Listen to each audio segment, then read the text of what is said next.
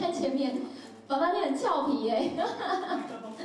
爸爸刚刚凯乐有说，你每年的生日愿望都会留一个给他，对，就是要女婿嘛。对，你你可以对假装现在是你的生日，然后你先要许那个愿望，你讲一次给我们听一下，好不好？那这样明年会还准吗？今天不是生日嘛，假装假装，你都说出了哪一个？来用麦克风，对对对。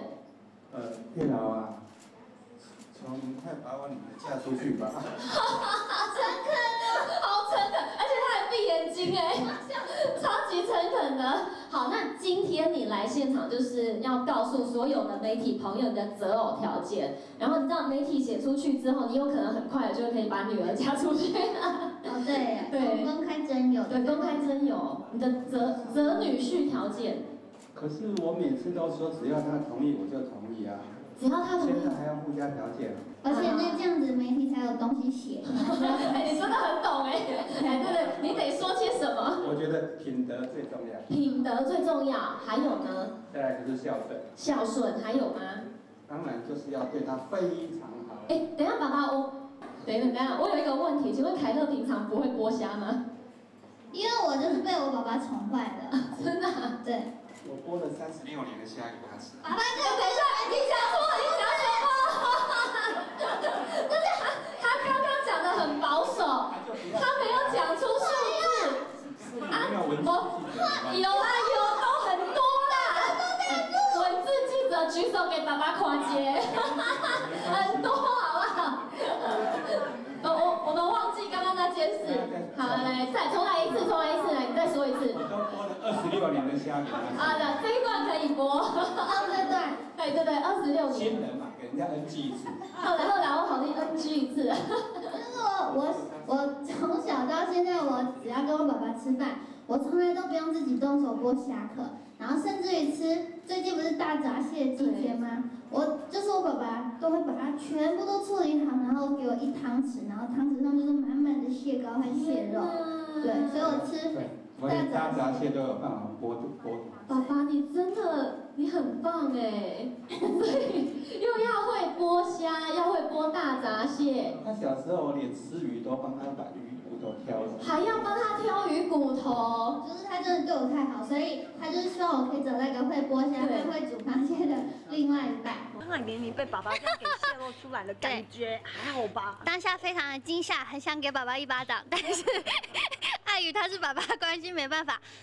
但没关系，因为我想说，很多人都说我看起来跟实际年龄不太一样。呃，爸爸很担心啊，可是你自己会不会心急啊？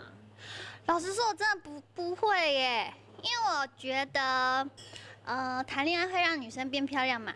那不管你有没有恋爱，你都可以让自己变漂亮哎。那这么漂亮怎么会没人追？还是很多人追，不知道怎么抉择？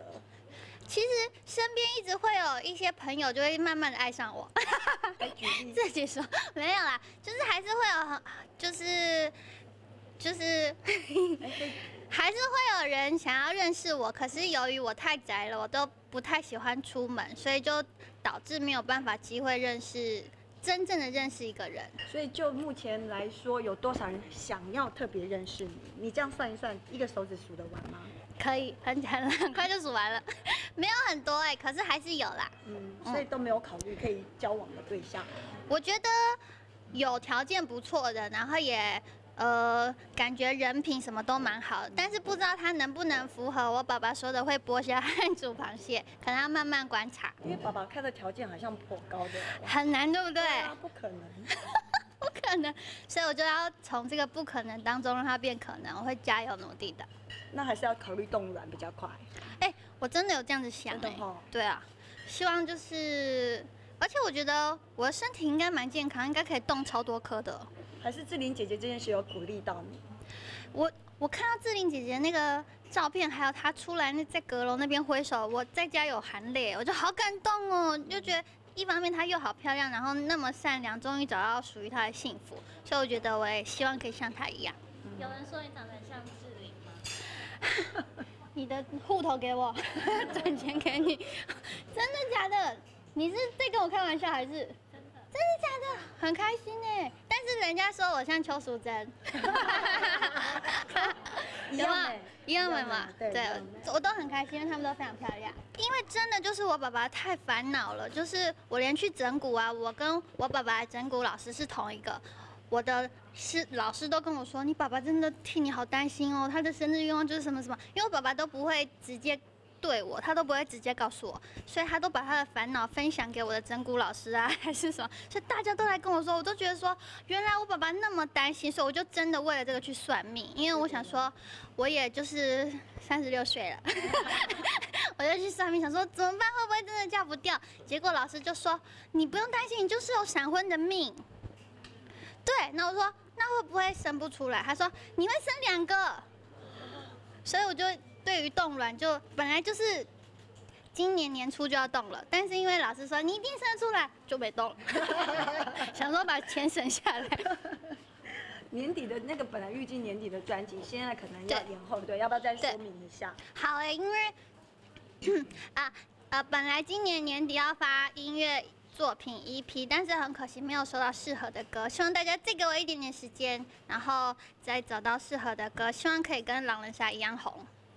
最近玩狼人杀还压力大吗？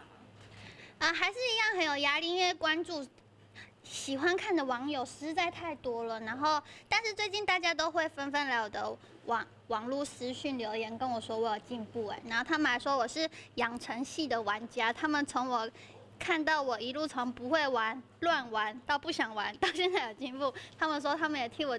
感到很开心，但是我之后真的还是有几集还没播，也是玩的超烂，所以希望大家就是不要给我太大压力。那个就是现在狼人杀，我想就自己有组一个团体嘛。对。但就是讲到音乐作品，有没有机会跟他们 feat 一首歌？